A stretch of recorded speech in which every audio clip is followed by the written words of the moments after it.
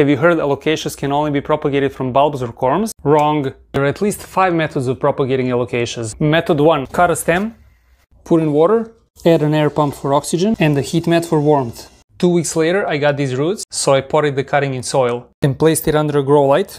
And now it's growing a new leaf.